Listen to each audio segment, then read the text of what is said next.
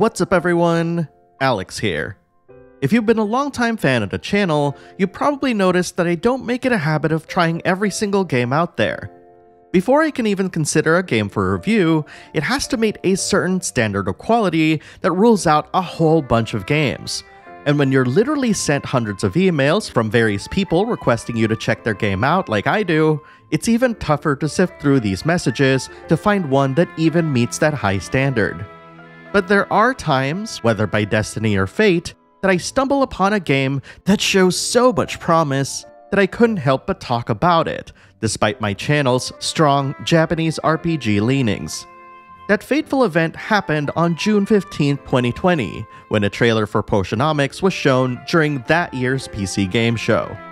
Potionomics' trailer dazzled me with its wonderful and charming characters, featuring a gorgeous aesthetic and a soundtrack that had a strong potential to be one of my absolute favorites. I didn't even mind the fact that it had card game elements, despite my reluctance in playing games with it. The only downside to all of this was that it was slated to be released on the PC. And as a Mac guy and a full time YouTuber that's merely scrimping by, the prospects of obtaining a PC to play this game upon its release was extremely slim. Fast forward a little over two years later, and I find myself with an incredible Omen by HP sponsorship and a brand new Omen 16 laptop to play games on. And as if by fate, the folks over at Xseed and Voracious Games also announced that Potionomics would be ready to release the same year. What can I say? When the stars align, they align. This is fitting, especially given how Potionomics Sylvia is thrust upon an industry that she doesn't know much about. Much like my early experiences with being a YouTuber, Sylvia will have to surround herself with friends and patrons that'll help teach her the ropes and provide her with tips to haggle her way to victory. Sadly, her uncle passed away, leaving her with a dilapidated shadow of a store that's in dire need of TLC, along with a massive debt that's dying to be paid. Determined to make a name for herself with the goal of absolving herself of any financial responsibility, Sylvia will need to become the land's best potion maker to meet the many challenges of being an entrepreneur. But one has to wonder does she have what it takes to perpetuate a perfectly potent potion practice? And before you ask, no, I don't have an uncle who left me with a store and a debt I have to pay. Thank goodness for that. At its core, Potionomics is a shop management sim with deck building gameplay, developed by Voracious Games and published by Xseed, who provided me with this review code on Steam.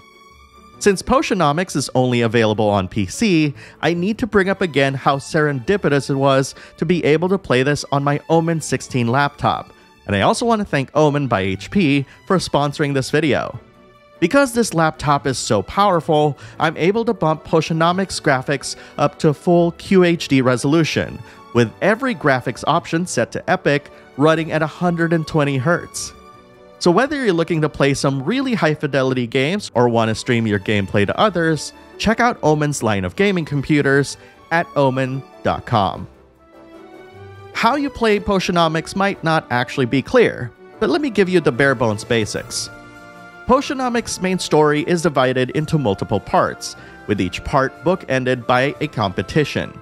You have 9 days before the competition to brew the best versions of each of the required concoctions needed to participate. In order to do so, you'll have to discover new materials to use, and for that, you'll need to meet new friends who will aid you in improving your business. The way you'll meet them is just by going through the main story, and if there's any additional requirements to meet them, they'll let you know. And your friend's aid is really helpful, and you shouldn't underestimate them. Mint, for instance, can be sent to expeditions so that she can bring back rare materials that you can give to Quinn, who can then copy any material you give them so that they're able to sell it to you the following day. This is just one of the many ways that your friends can be helpful, and it's up to you to figure out how to utilize them. And naturally, you'll have to make enough money to afford said materials, after all, they may be your friends, but their businesses aren't charities. You'll have to sell some of the potions you've made and open up the store. Once customers come up to the counter to pay for their purchases, you'll need to haggle with them to bump the prices of your potions. This is done via a card game mechanic that has you battling each customer for a better price. To be clear, no one dies during these transactions, but your wallet might, especially if you're not able to raise the prices of your wares. This haggling mechanic is actually a clever facade to what is essentially a great introduction to deck building gameplay. You can only have 20 cards in your deck, but by the end of the game, you'll have a ton of awesome cards you'll want to use. Deciding which cards to use with what little availability you have is at the core of this style of gameplay, and as someone who has merely dabbled in this sort of gameplay, I found it really easy to find my favorites and construct a deck that fulfills my strategy. But that doesn't mean that I didn't wish that I had a few more slots to use. But that's just me. You'll obtain these cards by either hanging out or giving gifts to your friends, and then ranking up your relationship with them. If this all sounds like Persona's social link system, it's because it certainly functions the same way. What's really cool about the cards that you get from your friends is that their personalities match the type of card you'd expect from them. For instance, many of Mint's cards will grant you shields to protect you from being stressed, mainly because Mint is a hero, and heroes protect others.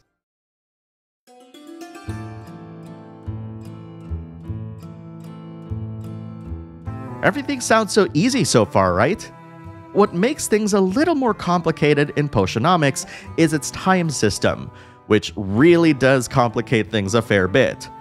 Almost every action that you do in Potionomics takes time, and it won't be easy to grasp at first. Let me list down a few things to consider. When you open the store to sell potions, for instance, this will spend at least two of the game's six time segments for the day. Brewing potions can take as little as two time segments, but can later brew all the way to the following day. And here's a tricky one traveling to see your friends will only spend one time segment after you return to the store. However, hanging out or ranking up with one of your friends can spend one time segment in addition to the aforementioned travel time. As you can probably imagine, time management is at the heart of Potionomics gameplay. And thankfully, you can take the time to just sit back and relax and think through your strategy before you do anything, as time does not unfold in real time. Thank goodness for that. It's in this sense that players who love min maxing and getting into the nitty gritty of games mechanics will find a lot to love with Potionomics' different systems. That said, even if you're not the type to min max like myself, I do find it fun to try my best and see how much I can make my days efficient. Sure, the thought of managing time might be stressful, but it's all a matter of perspective, man. Kidding aside, the game systems are all thought out well. And given that it has zero real time elements, unlike other RPG shop games that have you venturing forth into dungeons and whatnot, the depth of gameplay showcased here will be loved by anyone, Japanese RPG fans included, who wish that they could play a turn based game with a ton of depth. And the fact that it's so approachable despite its depth is incredible too. Engaging in haggling is super fun, and knowing that I've ripped up, excuse me, enhanced my buyer's purchases makes me feel good about the work I put into these battles. And I'd suspect that you'd feel the same feeling of satisfaction once you engage in these sessions as well.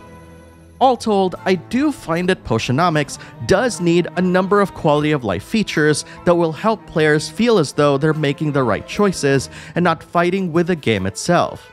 There are a few pieces of information you need that are only available when you're at the shop, meaning you won't have access to these while visiting your friends. There's also no way to know if you're given a material to Quinn to copy in any of the game's material details. So, for example, if Mint comes back from an expedition, you won't know if Quinn has any of these materials already. You still have to go to Quinn to check if these materials are already taken care of. And while that doesn't seem like too much of a pain, there are many other instances where this feature would be immensely useful. And last but certainly not least, saving is only available at the shop. And given how you can do so much while away at the shop, it would have been nice to be able to save here as well. There are a few more things that I can think of that the developers can implement to make our gameplay experience smoother. but I do want to add that during my time reviewing this game, I was able to send a more comprehensive list of suggestions to the developers, who were more than willing to take them. With so many deep interconnecting mechanics that can overwhelm, there has to be another reason why I'm playing this, right? Apart from the obvious strong art direction and characterization that I've talked about in both the trailer and impressions video I made for the game, what ultimately made me keep playing was its story and characters. Whenever you think of RPG shop sims, you don't really think about the stories or the characters you've met. But Potionomics places an increased importance on every character that you meet, whether it's a patron of your store or a new friend. There are 81 different patrons you'll encounter in the game, each with a unique quirk depending on their attitude and occupation. Now, I won't go into detail on that, but I'm hoping what I said will clue you in on how to deal with them. And to that end, every friend you meet is excellently characterized. This is done thanks to a combination of strong character design, fantastic animation, and clever writing.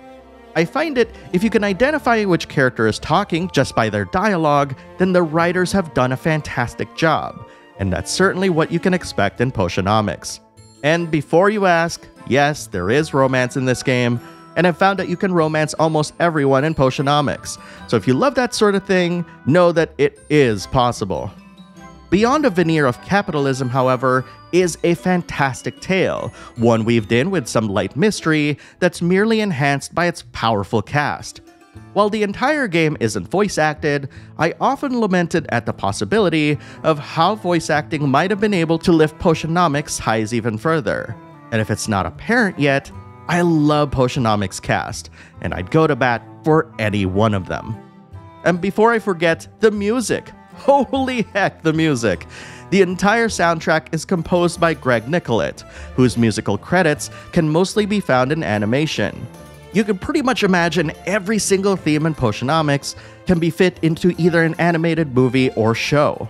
Coupled with its fantastic animations, it makes playing the game feel as though you're playing a high production animated film, which completely elevates it from just being a game presented in a visual novel format. I've always said that animations and music could elevate this kind of presentation, and Potionomics smartly nailed all of that. The compositions encompass a wide variety of feelings and emotions, and its various themes really embody the characters they're meant to represent. Whenever the soundtrack goes on sale, you bet that I'll be there on day one to pick it up. Considering my reaction the first time I saw Potionomics, it was just love at first sight. And thankfully, the final product turned out to be such a fantastic game that I just can't further express my enjoyment of it. While this game might go under the radar for many, anyone who plays this game will enjoy a feeling of elation and wonder as you get to know Sylvia's many friends and foes. Potionomics will warm the hearts of players who decide to open up shop alongside Sylvia, satisfying fans of deep and rich turn based gameplay, deck builders, and just plain fans of well told stories and characters. And it stands as one of the best games I've played this year.